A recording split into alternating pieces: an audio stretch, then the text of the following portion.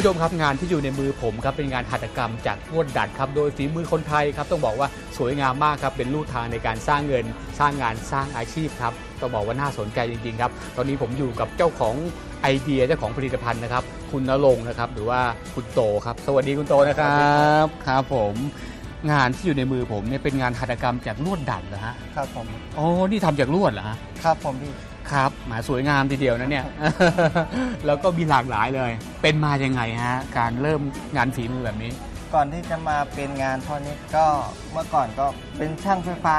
ครับ อยากจะทำงานอิสระมากกว่า อ๋อ ก็เลยมาประดิษฐ์ประดอยลองหัดนู่นหัดนี่ ครับก็คือลองผิดลองถูกอ๋อสักพักนึงก็ลองทำขายดู อ๋อก็ลองประดิษฐ์ไปเรื่อยๆไปลองตลาดที่สวนพิจักร อ๋อขายที่จตุจักรก่อนคุณผู้ชมไปส่งเขาสักพักหนึ่งก็เฮ้ยมันพอขายได้ ฮะ ก็ออกจากงานมาทำไอ้นี่เลย แล้วก็รับที่ยาวมาสิบปีเลย ต้องบอกว่าจากวันนั้นที่มีแค่ต้นไม้ไม่กี่ต้นคุณผู้ชมครับ ตอนนี้ผลิตภัณฑ์เยอะแยะมากมายเลย ครับ เห็นบอกงานแบบนี้เนี่ยฝรั่งชอบมาก ครับใช่ไหม พอได้ครับครับเพราะว่าเป็นงานแฮนด์เมดนะ ครับผม ครับลูกค้าที่แวะมาซื้อนะฮะที่ร้านคุณโตเนี่ยนะครับที่มาบุญครองชั้นหกคุณผู้ชมครับ มีลูกค้าเป็นใครบ้างครับ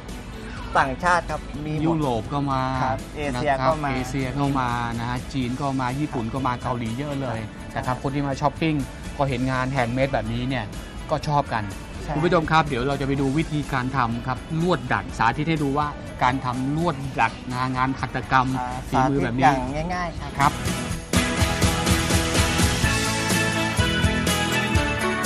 เดี๋ยวเรามาดูคุณโตทำตุ๊กตาลวดดัดนะฮะนี่เลยฮะตุ๊กตารูปคนนะคุณโตนะ นี่คุณผู้ชมครับแหม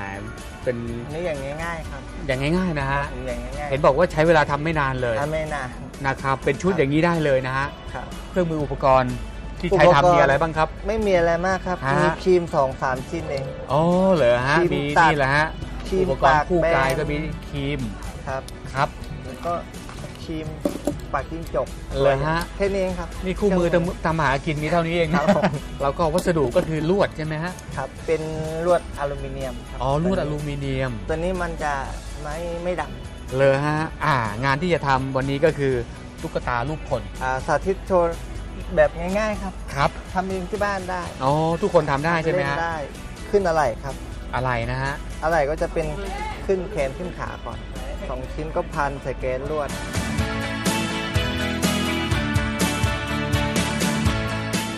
ต้องจินตนาการไปก่อนได้ไหม ครับว่าเราจะทำอะไร นี่ครับอ่า คุณผู้ชมดูอันแล้นี้วคือก็หลัไม่ๆยากนะประกอบสามสี่เส้นเอง ครับหลักๆก็คือแค่นี้เอง อันนี้จะเป็นหัวแขนสองข้าง ครับ อันนี้ข้างล่างเขาเป็นขาครับอ่า เพราะนี่ก็จะเป็นสปริงเส้นใหญ่ปุ๊บอะอันนี้ลำตัวอ่าขาอ๋อขาปุ๊บนี่ฮะอ่าอันนี้โชว์คร่าวๆนะครับ ปึ๊บใส่กางเกงอ่นี่ใส่กางเกงแล้วฮะปึ๊บ นี่อุ๊ยโทษอ่าได้กางเกงแล้วนะฮะเริ่มเป็นรูปคนแล้วนะฮะเนี่ยฮะแขนนะครับลำตัวขานี่ชิ้นหนึ่งก็เวลาไม่เกิแป๊นบเดียว5นาทีไม่เกิน 5 นาทีครับได้ราหนึ่คางชิ้ขายนก็อยู่ที่ประมาณตัวละ 50 บาทตัวละ 50 บาทเส้นละร้อยคู่ละร้อยนี่แหละครับคุณผู้ชมครับ นี่ฮะปุ๊บหัวโอ้นะครับครับใช้เศษเหล็กอะไรก็ได้ปากกาได้ใกล้มือเลยฮะปุ๊บเสร็จโอ้อะผมปึ๊บ ฟึบเลยนะ ยัดเข้าไปเลยปุ๊บอะคล้ายๆที่มัดผมที่โพกหัวประมาณนี้ครับอืมนะฮะนี่ได้แล้วอ่าได้แล้วนะครับเท้าเท้าปึ๊บอะมาโอ้อะแล้วก็ใส่รองเท้านิดอืนึงมนะฮะตามให้ดูท่ามีทางสีสันครับอืมเท้าสองข้างครับครีมช่วยนิดนึงฮะ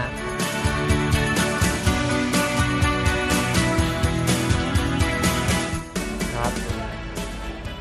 ก็ใส่นิ้วมืออืมทีนี้นิ้วมือก็ฮะปึ๊บ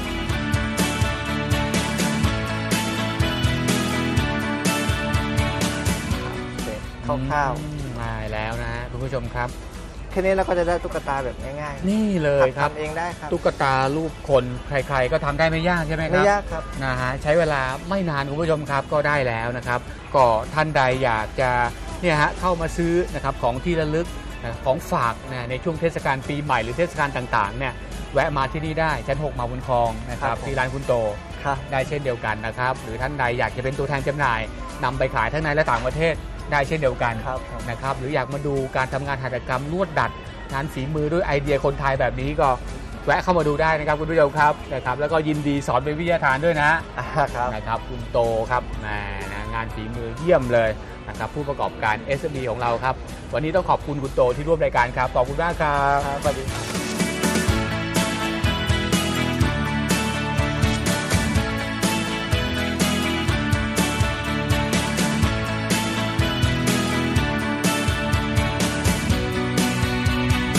คุณผู้ชมครับวันนี้ผมลงพื้นที่มาที่วัดป่าศรีมหาโพธิ์ครับ ก็อยู่ที่อำเภอชัยบาดาลจังหวัดลบบุรีครับ เป็นวัดป่าที่มีลูกศิษย์ลูกหามากมายครับ มีเกจิอาจารย์ชื่อดังที่นี่นะครับ ก็มาดูนี่แหละครับ การใช้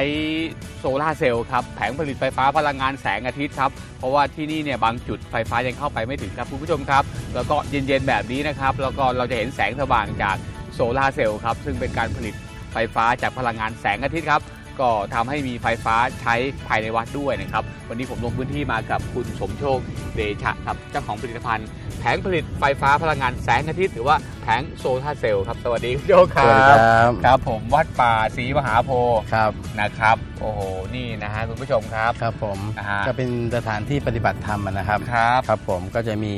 อ่าชาวบ้านอะไรก็จะมาปฏิบัติปฏิบัติธรรมกันนะครับครับก็เป็นครับสถานที่ปฏิบัติธรรมคคุรัณบผู้ชมครับนะฮะก็มี เนี่ยแหละฮะลูกศิษย์ลูกหามาเยอะทีเดียวครับผมนะครับ ก็เป็นวัดเนี่ยฮะที่ด้านหลังก็เป็นเขานะคุณโชคใช่คฮะรับ จะเห็นว่าวิวสวยแล้วก็โอ้โหสงบมากเลยครับผมนะฮะที่นี่นะครับ แล้วก็เห็นบอกว่าบางจุดไฟฟ้ายังไปไม่ถึงนะฮะ ใช่ครับ ด้านในยังไม่มีไฟฟ้าครับครับ หลังคาเรือนก็ยังพึ่งไฟวัดใช้อยู่ครับ อ๋อ อ่านี่ครับแต่แสงสว่างที่เห็นเนยนะครับคุณผู้ชมครับครับ เป็นแสงสว่างจากโซลาร์เซลล์ครับผม นะครับการผลิตไฟฟ้าด้วยพลังงานแสงอาทิตย์นี่แหละครับนะผม อย่างที่เล่าให้คุณผู้ชมฟังนะครับ เป็นพลังงานสะอาดครับปราศจากมลพิษครับผนะม ฮะสามารถนำแสงแดดเปรี้ยงๆเนี่ยนะคุณผู้ชมครับครับนำมาผลิตไฟใช้เองนะครัใช่ครับตอนนี้ตอนเย็นๆนะฮะเราครับมาผม นี่เกือบทุ่มหนึ่งแล้วครับผมนะฮะแต่ว่าแสงที่เห็นเนี่ยนะฮะครับ ไฟส่องสว่างใช่ครับ ก็ จะเกิดจากการผลิตจากโซลาร์เซลล์ ครับผมเก็บไว้ในแบตเตอรี่นะฮะ อืม แล้วก็เย็นก็เอามาใช้ครับครับผมนะฮะจุดนี้ติดกี่แผงฮะคุณโชคได้ครับสิบแผงครับ สิบแผงใช่ไหมคครัรับบผม เป็นไฟส่องสว่าง ไฟไฟทางเดินนะฮะประมาณทางเดินนะฮะ2กิโลครับสองกิโลเลยนะคครัรับบผมจนถึงนู่นเลยฮะคุณผู้ชมครับผมครับ นะฮะยาวเหยียดเลย ครับนะครับ 26 26 ต้นนะฮะ 26 ต้นนะฮะครับผม ครับนอกจากนั้นเห็นบอกว่ายังติดอยู่ตรง อ่าบ่อสูบน้ำนะฮะบ่อสูบน้ำบ่อด้วยบ่อสูบน้ำแร่นะครับครับ แต่แต่ใต้ดินไป 99 เมตรฮะครับ ครับ อ่าน่าสนใจมากครับมีแสงสว่างใช้คุณผู้ชมครับ ครับผมซึ่งก็เหมาะกับหลายที่นะครับ อย่างครับ ที่บอกกันไปว่าบางจุดครับ นะฮะ ป่าเขาอะไรทั้งหลายเนี่ยนะฮะครับไฟฟ้าผม ยังไปไม่ถึงคุณยังไม่โชค ถึงครับผมครับก็ต้องพึ่งพลังงานแสงอาทิตย์นะฮะครับก็จะมีได้มีไฟฟ้าใช้กันใช่ในฮะ อนาคตอ่าหลวงปู่แกก็อ่าจะแนะนำอ่าทางชาวบ้านเนี่ยให้ใช้พลังงานทดแทนนะฮะครับใช้พลังงานแสงอาทิตย์ครับนี่ฮะคุณผู้ชมครับก็เรียกว่าประหยัดค่าใช้จ่ายได้ด้วยครับผมนะครับแล้วก็นำพลังงานจากแสงอาทิตย์นะฮะจากธรรมชาติครับนำมาใช้ประโยชน์นะครับครับผมก็ที่นี่มีหลวงปู่ขาวอยู่หลวงด้านปู่ในขาวครับผม นะฮะ นี่นะครับคุณโชคครับเราเดินเข้ามานะฮะครับเนี่ยไฟเดินสายไว้เรียบร้อยเลยครับผมใช่ไหมครับใช่ครับ เดิมทีหลวงปู่ก็จะใช้เรียกว่าอ่าไฟฟ้าไฟฟ้าครับผมไฟฟ้าจากทางการไฟฟ้านะฮะครับหลวงปู่ท่านก็อ่าเดินเสาไฟเดินฮะเดินไฟเองหมดครับครับผมนมัสการหลวงนมัปู่สการครับเจริญตามทุกท่านครับ ผมแหมคุณโชคฮะนี่ฮะทางด้านหลังนี่ใช่ไหมฮะครับผมที่เป็นติดไปครับผมสิบแผงครับสิบแผงนะครับหลวงปู่ครับโอ้โหนี่ ติดตั้งนานหรือยังคะเนี่ย ก็เกือบเดือนแล้วอะ เกือบเดือนแล้วอ่า นะครับแหมเห็นบอกว่า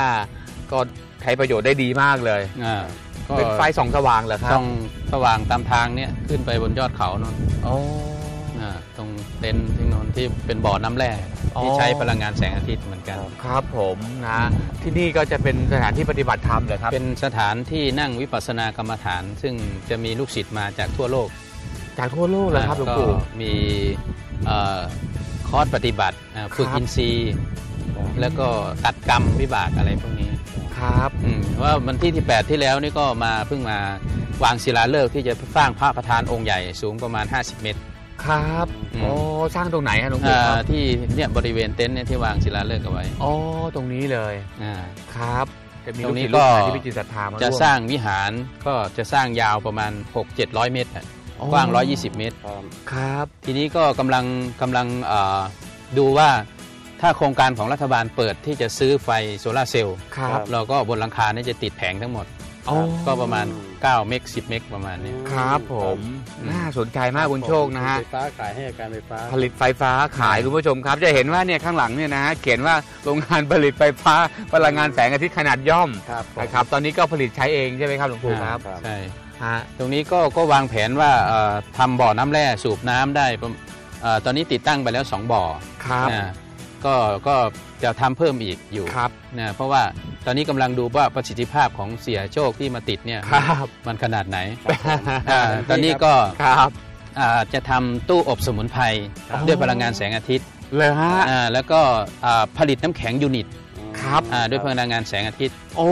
น่าสนใจคุณผู้ชมครับ ก็ยังมีอีกหลายโปรเจกต์ที่จะทำครัเพิ่บ มอยู่ครับผม ตรงนั้น นี่นะด้วยแนวคิดนะครับที่นำพลังงานจากแสงอาทิตย์นะครับคุณผู้ชมครับจากธรรมชาติเป็นพลังงานสะอาดนะฮะนำมาผลิตเป็นกระแสไฟฟ้าคุณครับโชคผม ฮะเอามาใช้เองนะคครัรับบครับ การทำงานที่เราติดตั้งไปนี่ ทำยังไงฮะคุณโชคฮะจุดเนี้ย ก็กลางวันนี่ก็จะรับแสงอ่าแสงแดดนะฮะครับ อ่าผลิตไฟฟ้าจากแผงเก็บไว้ที่แบตเตอรี่นะครับอ๋อแบตแบตเตเตออรี่รี่นะฮะแล้วเจอแบตเตอรี่เนี่ยก็คือจะมาเข้าเครื่องแปลงไฟที่เห็นเนี่ยนะคครับผมเครื่องแปลงไฟก็จะทำแปลงไฟให้กับไฟฟ้าที่ใช้โหลดข้างบนครับครับครับนะเก็บแล้วแปลงไฟก็เอานี่ใช้ได้เลยครับผม นะครับ หลวงปู่เปิดตั้งแต่กี่โมงถึงกี่โมงครับไฟเนี่ย ก็ตรงนี้ตั้งตั้งทัมเมอร์ไว้ประมาณ6โมงก็จะเริ่มเปิดครับเอ่อก็ไปปิดอีกทีหนึ่งประมาณ5้าทุ่มประมาณห้าทุ่มใช่ไหมอ่าคปบระมาณ5้าทุ่มเสร็จแล้วหลังจากนั้นก็ประมาณตีสามก็เอ่อเปิดอีกครั้งหนึ่งอ๋อ แล้วก็ไปปิด6กโมงเช้าครับครับนี่ที่ติดคือวางระบบทัมเมอร์เอาไว้ ที่วางเอาไว้ใช่ไหมครับ ติดฮะ สิบแผงนี่พอใช้ไหมฮะ ก็กำลังไฟก็เดือนคำนวณไหนครับทางวิศวะคำนวณแล้วบอกว่าเออจุดที่เราตั้งตรงนี้ประมาณ 27 เสา ครับอ่า จากอ่าตอนนี้ยังด้านบนนั้นยังยังเชื่อมไม่หมดอ่าครับก็มีตัวนี้ยาวไปซุ้มประตูด้านหน้าครับ ทางเข้าเลยอ่าก็อันนี้เป็นเฟสแรกครับ ก็จะดูว่าประสิทธิภาพขนาดไหนครับ ต่อไปก็อาจจะมีเฟส2เฟส3ขึ้นมาอ่าตามมานะครับอะไรเห็นประบอกมาณว่านี้ใช้งานได้ที่ที่เดียวคุณเออคุก็ณโชดูคครับก่อนว่าประสิทธิภาพมันขนาดไหนครับอืมน่าสนใจมากครับ เดี๋ยวไปดูบ่อนะฮะน้ำแร่บ่อน้ำแร่พลังงานแสงอาพทิตย์ลังคงารันบแสงอาทิตย์อะตามมาครับครับคุณผู้ชมครับ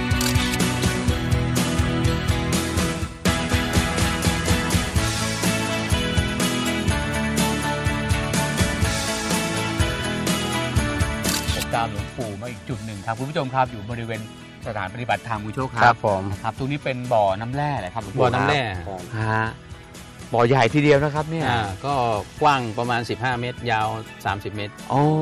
ลึกประมาณ 5 เมตร ลึก5เมตรเหรอฮะประมาณนี้อ่าครับ ผมประโยชน์ของบ่อนี้คืออะไรครับก็หลวงปู่ครับ ใช้เอ่อน้ำเพื่อเป็นเป็นน้ำดื่มครับ อ่าทำน้ำแข็งยูนิตอะไรพวกนี้ อ๋อแล้วก็น้ำเพื่อการเกษตรเพื่อการเกษตรด้วยนะครับ อ่าโครงการเกษตรโนฮาวเลยฮะอ่าครับทำผักอินทรีย์ปลอดสาร นี่ฮะคุณผู้ชมครับนะมีผักอินทรีย์ปลอดสารด้วยครับปลูกผักอะไรบ้างเนี่ยหลวงโหปู่เยอะมากเลยหน่อเยอะไม้มากฝรั่งครับผักชะอมผักกาดผักกวางตุ้งใบกะเพราแมงลักโหระพาครับอ่าตะไคร้มีหมดฮะเลยใบเตยครับเอ่อทำน้ำดื่มสมุนไพรด้วยอะไรด้วยอ๋อก็ใช้น้ำแร่ครับน่าสนใจคุณโชคครับผมนะฮะก็น้ำแร่จากบ่อนี่แหละครับใช้สูบน้ำใช่ไหมฮะใช่นะฮะก็เนี่ยฮะลงไปลดผักต่างๆเนี่ยนะฮะใช่ปลูกผัก นะเห็นบอกอ่ามีมีถั่วงอกมีอะไรต่างถั่วงอกคอนโดๆครับ อืมเป็นยังไงฮะ ก็เพาะในถังพลาสติกอ่าถังหนึครังบเราก็จะเพาะได้ประมาณ 8 ชั้น อืมนะฮะ ก็วางเรียงเรียงๆไว้อ่าตรงก้นถังเนี่ยเราลดครับน้ำประมาณ 2 วันใช้ครับน้ำแร่ลดอ๋อต้นมันจะกรอบอร่อยครรัสบ ชาติดีเลยฮะอ่าตอนนี้ตลาดต้องการเยอะเพราะว่าขายถ้าเราขายปลีกในกิโลหนึ่ง30 บาท กิโลหนึ่งสามสิบบาทนะใช่ ฮะโอ้โห น่าสนใจครับอืมนะครับ แล้วจุดนี้ใช้โซลาร์ฟาร์มเนี่ยกี่แผงครับเนี่ย ก็เอ่อตรงนี้บ่อหนึ่งเนี่ยคือเราใช้ submerse องแรงครับสองแรงอันนี้คำนวณแผงเนี่ยก็ได้ประมาณเอ่อ2,400 วัตต์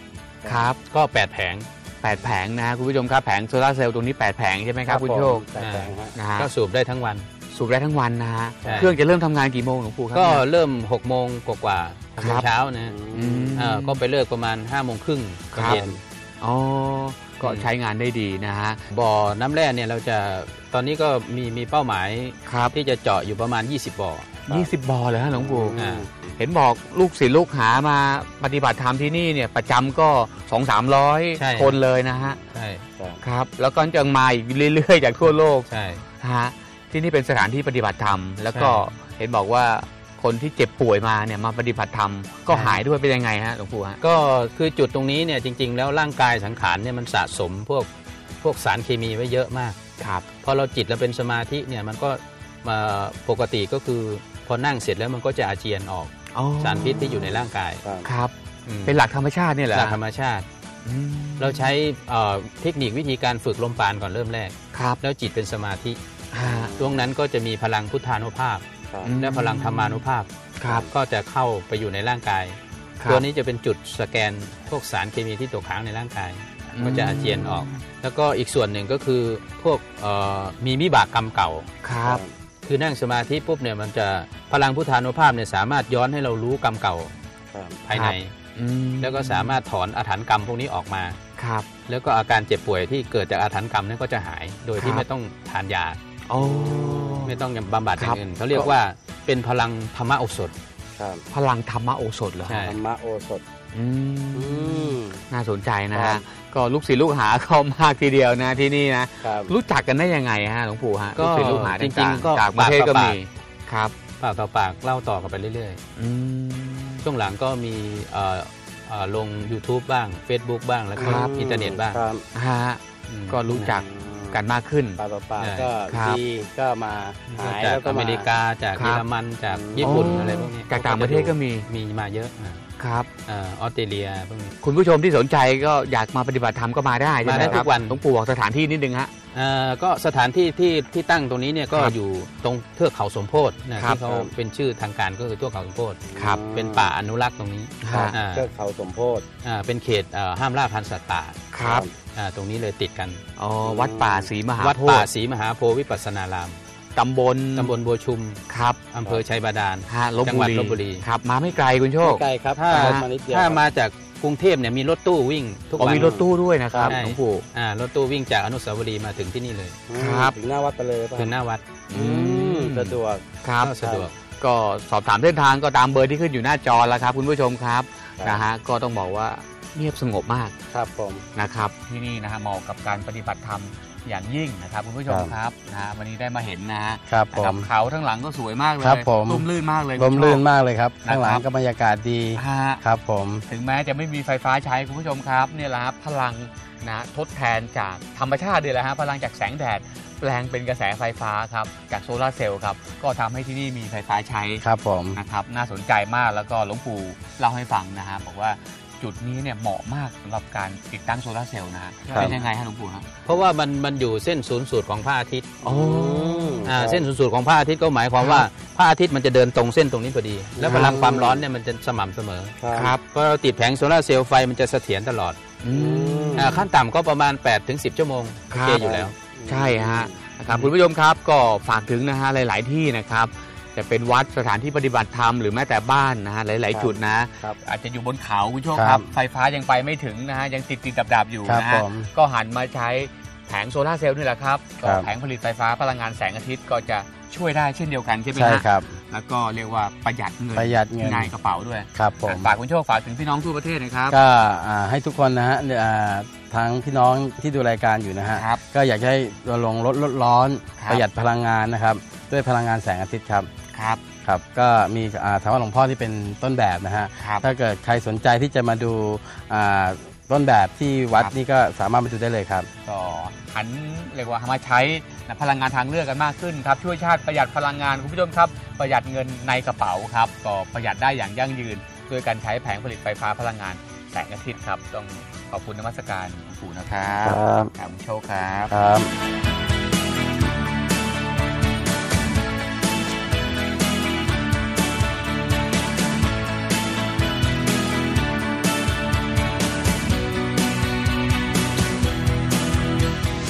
ครับ วันนี้ผมพาคุณผู้ชมมาที่ย่านซอยอ่อนนุช34 ครับ มาชิมชาบูแสนอร่อยต้องบอกอย่างนั้นเลยนะครับ เป็นร้านที่หลายคนก็ติดอกติดใจครับ เพราะว่าชาบูเป็นอีกเมนูยอดฮิตนะครับของคนรุ่นใหม่วัยทำงานนะครับ แล้วก็กลุ่มครอบครัวครับคุณผู้ชมครับ วันนี้ผมมาที่ร้านเซอิชาบูครับ อยู่กับเจ้าของร้านครับ คุณโสภิต คุณปานิสาบุญชัย วัฒนาครับ สวัสดีทั้งสองท่านครับพี่ตาน้องตาวค่ะ นะครับเซอิแปลว่าอะไรครับพี่ครับ เซอิเอ่อแปลว่าความจริงใจนะคะอ๋อ ค่ะครับ จะเป็นภาษาญี่ปุ่นเหรอฮะค่ะ ต้องบอกว่าชาบูเป็นเมนูฮิตของคนรุ่นใหม่เหมือนกันนะน้องตาวนะใช่ ใช่ค่ะไหมฮะคนรุ่นใหม่นิยมทานอาหารเมนูสไตล์ญี่ปุ่นแบบนี้ใช่ค่ะ เซอิชาบูของเราเด็ดยังไงฮะจุดเด่นอยู่ไหนครับพี่ อยู่ที่น้ำจิ้มนะคะน้ำจิ้มเหรอฮะอ่าน้ำนี่จิ้มเลยคุณอ่าผู้ชลอมงคดูรับนะคะน้ำจิ้มเป็นยังไงครับ น้ำจิ้มเนี่ยเอ่อปกติแล้วมันจะเป็นน้ำจิ้มเขาเรียกว่าบอนสึนะครัคะบ เอ่อมันจะมีน้ำจิ้มที่ผสมด้วยเอ่อซีอิ๊วกับ น้ำส้มครับนะคะ ผสมผสานกัน แล้วก็เวเวเวลาทานเนี่ยเราก็จะใส่เครื่องปรุงอ่า ก็โดยมีกระเทียมครับพริกต้กนระหเทียมอพมริกต้นหอมนะฮะ ค่ะ ใส่ลงไปเอ่อครับ แล้วก็มีมีอันนี้นะคะ หัวคือไชอะไรครัเท้าหัวไชเท้าฮะเออหัวไชเท้าที่เราเอามาสับแล้วก็ทำเพื่อที่จะให้มันเพิ่มเป็น t e x t อร์อยู่ในเนื้อน้ำครับเวลาเราทานจิ้มอะไรมันก็อ่าจะได้เนื้อตัวนี้ขึ้เอานมาได้ด้เนื้วอยด้วยใช่ไหมครับ เห็นบอกว่าผสมผสานระหว่างความเป็นญี่ปุ่นกับ ความกัเป็นไทย ใช่ค่ะฮะมันเป็นฟิวชั่นหนึ่งที่แบบเหมือนกับว่าเออถูกรสชาติครับญี่ปุ่นสักทีเดียวก็อาจจะจืดของไทยเราอาจจะชอบรสจัดนิดหน่อยครับเราก็เลยเพิ่มเป็นพริกเพิ่มเป็นอะไรขึ้นมาฮะให้รสชาติจัดจ้าจันดจ้านขึ้นนะฮะถูกปากคนไทยใช่ค่ะแล้วก็นี่นะอย่างอย่างเนี้ยในกรณีมีกุ้งเนี่ยเราก็ครับยังมีน้ำจิ้มเสริมให้ก็คือเป็นน้ำจิ้มซีฟู้ดนี่เลยอ่าคุณผู้ชมครับเป็นมีช้อยน้ำให้จิ้มเลือกซีฟู้ดค่ะใช่เผื่อลูกฮะค้าคนไทยที่แบบเออ อยากจะได้อะไรที่จัดจัดๆขึ้นมาอีกหน่อยคนะรับอ่าแล้วก็นะครับ มีน้ำจิ้มอีกอันนึงฮะ อ่าน้ำจิ้มถั่วงานะอ๋อคะถั่วงาคุณผู้ชมครับอ่าแบบนี้ใช่ไหมอ่าคถั่วรับ งาใช่ค่ะ อันนี้อ่าน้ำจิ้นี่มนะ ถั่วงาจะออกมันครับ ๆค่ะ อันนี้คือสไตล์ของญี่ปุ่นอะครับ ส่วนใหญ่ลูกค้ามาทานที่นี่ชอบน้ำจิ้มแบบไหนครับเนี่ย อ๋อก็ต้องเป็นน้ำจิ้มตัวตัวเมนเนี่ยค่ะนี่เลยใช่ไหมค่ะครับ ใช่ค่ะ อืมอร่อยทีเดียวคุณผู้ชมครับค่ะ อืมเยี่ยมเลยนะค่ะฮะ แต่ว่าอยากจะลองดูนะคะแต่ครับ หมูเนี่ยแนะนำหมูจะเป็นหมูสไลด์หมูสไลด์นะฮะ ค่ะ ก็จะมีหมูสามอย่าง ครับจะมีหมูสันนอกนะคะอ่าซึ่นี่งไม่นะติคุณดผู้ชมมันครับฮะ ค่ะ แล้วก็จะมีหมูสันคอ ซึ่งติดมันนิดหน่อย ครับ แล้วก็มีหมูสามชั้น ซึ่งมันจะติดหนัง อ๋อ มันจะทำให้เกิดความรู้สึกหนืดหนืดขออนุญาตนะครับคุณผู้ชมครับ สไลด์บางเลยนะๆครับค่ะ เนี่ย บางเพื่อที่จะให้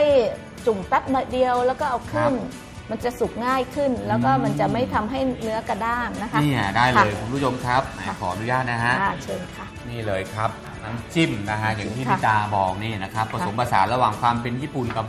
ความเป็นไทยค่ะนะฮะเข้าด้วยกัน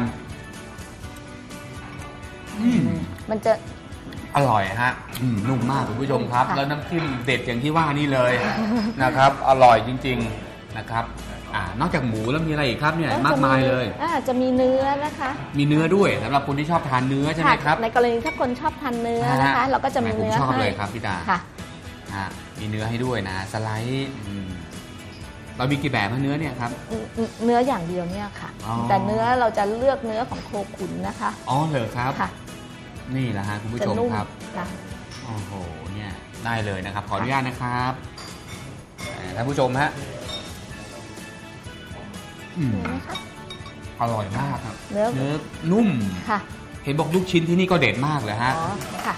เรามีลูกชิ้นอะไรบ้างครับ นี่นะคะจะมีลูกชิ้นปลาอินทรีแท้ๆเลยโอ้นะปลาคะอินทรีเหรอฮะ ใช่ อันนี้อันนี้มาเราไปสันมาจากเยาวราชเลย อือันนี้ มอะคุณผู้ชมครับะขออนุญาตเป็นปลาฮะ อินทรีล้วนๆจะมีลูกชิ้นกุ้งอืมแล้วก็แน่นๆรับเลย ค่ะ แล้วก็รับบี้แล้วก็หือลักกล้วยบี้ค่ะอ่าหรือกหือล้วยกล้วยนะก็ฮะคือปลาเส้นทอดเนี่ยครับเอามาหั่นเนี่ยนะฮะมาหั่นครับเห็นบอกว่าแหมลูกชิ้นเนี่ยลูกชิ้นนี่ลูกค้าค่ะชอบมากเลย ชอบชอบลูกชิ้นมาก เพราะว่าครับปกติแล้วเนี่ยลูกชิ้นเนี่ยเขาจะไม่ใช้ปลาอินทรีฮะนะคะทั่วไปเนี่ยน้อยเพราะปลาอินทรีมันจะเป็นปลาที่เนื้อเหนียวใช่ฮะแน่นครับค่ะ ก็น้อยเจ้าที่จะใช้ฮะแหมคุณผู้ชมครับลองขออนุญาตนะฮะ อืมอร่อยมาก สุดยอดเลย นะฮะจริง ๆ ก็ยังมีอีกหลายอย่างเลยนะครับคุณผู้ชมครับนะฮะแล้วแต่ชอบเลย ค่ะ อย่างกรณีอย่างชุดเห็ด ชุดเห็ดมาเนี่ย ถ้าลูกค้าที่เอ่อไม่ทานเนื้อ ไม่ทานทะเล ครับเราก็อาจจะเป็นพวกที่ชอบเพื่อสุขภาพจริง ๆ หรือว่าเป็นพวกที่มังสวิรัตครับ เราก็สามารถจะทานเป็นชุดผักชุดเห็ดได้ ได้เลยนะอืแล้วก็มีพวกผักชุดผักก็ชุดจะมีผักนะค่ะฮะเป็นชุดสุขภาพเป็นะนพี่ชุดตาสุขนะ ภาพเลยครับ ค่ะ วัยรุ่นนะคนรุ่นใหม่อย่างค่ะน้องตาวนี้ก็ชอบทานชุดผักนะค่ะ นะครับทานแล้วก็แหมเพื่อสุขภาพที่ดีค่ะ นะครับ แล้วอย่างมีนี่ฮะจะยังมีอย่างผักแล้วก็จะมีพวกปวยเล้งอ๋อออะไรเนี่ยปวยเล้งครับเขาวิจัยมาแล้วว่าปวยเล้งดีกับสุขภาพดีต่อสุขภาพนะครับนี่ฮะแล้วก็มาทานชาบูก็มีนี่นะฮะมีคุณผู้ชมครับมีให้มีให้หลากหลายมากทีเดียวนะครับ มีผักเพื่อสุขภาพ แล้วก็มีอีกหลาย ๆ อย่างด้วยกันค่ะแนะนำอีกอันนี้ก็คือข้าวฮะนะคะ ข้าวกระเทียมข้าวกระเทียมเหรอครับอ่าลองดู เพราะว่าข้าวกระเทียมเราจะใช้ผัดกระเทียมแล้วก็นั่นจะหอมอืมกระเทียม นี่ฮะคุณผู้ชมครับหมายน่ากินมากเลยนะฮะแหมได้กลิ่นหอมเลยนะพี่ตาค่ะฮะจะได้กลิ่นหอมอืมรสชาติจะเยี่ยมเลยฮะหอมค่ะข้าวนุ่มหอมกระเทียม จะใช้ข้าวหอมมะลิแท้ครับผมเนี่ยฮะ ๆจะนุ่ม หมายหลากหลายมากเลยนะครับ บนโต๊ะนี่เยอะแยะมากเลยนะฮะยังไงฮะราคาเป็นยังไงครับพี่ตาครับ จะเป็นของทางเราจะเป็นบุฟเฟ่ต์นะคะเอาเป็นบุฟเฟ่ต์นะครับอ่าราคา 349 บาทครับเน็ตนะคะเน็ตเลยนะฮะทานเน็ตเลย แล้วก็ไม่ครับจำกัดเวลาด้วย อ๋อ ไม่จำกัดเวลานะฮะค่ะสามารถมานั่งทานมาได้นั่งเลยทานได้เรื่อยๆไม่มี ครับ มื้อกลางวันมื้ก็ได้มื้อเย็นก็ได้ อยากจะมาสังสรรค์อะไรกันครับก็ได้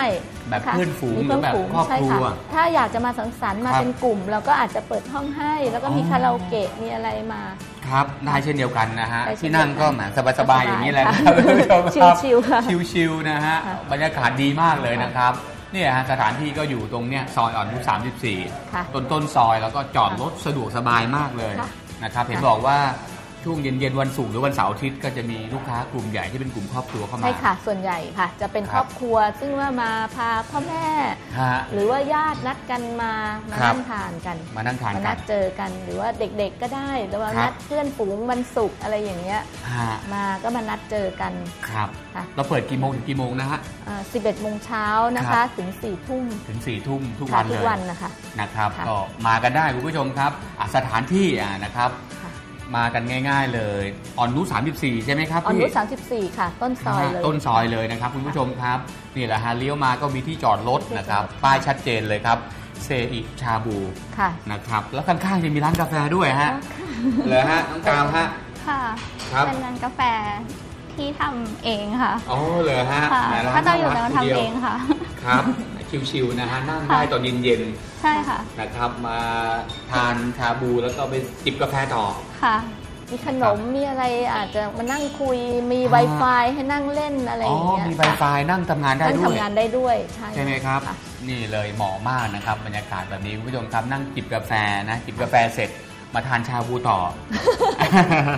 ค่ะได้เลยเช่นเดียวกันได้ได้ นะครับ สถานที่ตรงนี้แหละครับคุณผู้ชมครับก็ไปง่ายมาง่ายครับ ร้านก็สะดวกสบายทันสมัยมากนะครับก็ท่านใดสนใจจองโต๊ะก่อนก็ได้นะครับ ตามเบอร์ที่ขึ้นอยู่หน้าจอครับคุณผู้ชมครับเซอิชาบูครับร้านชาบูของคนรุ่นใหม่ครับก็กลุ่มครอบครัวด้วยนะพี่เนาะได้ค่ะนะครับเหมาะสำหรับทุกๆท่านนะครับเซอิชาบูเป็นอีกร้านหนึ่งที่น่าสนใจครับคุณผู้ชมครับ ก็อยากให้คุณผู้ชมได้แวะเข้ามา ชิมกันนะครับ เปิดตั้งแต่ 11 โมงจนถึง 4 ทุ่มทุกวันครับก็ลองชิมดูครับ ต้องบอกว่าแหมสุดยอดจริง ๆ เลยครับสำหรับคนที่ชอบทานชาบูพลาดไม่ได้ครับ วันนี้ต้องขอบคุณพี่ตาขอบคุณน้องตาวที่ร่วมรายการนะครับ ค่ะขอบคุณมากครับค่ะ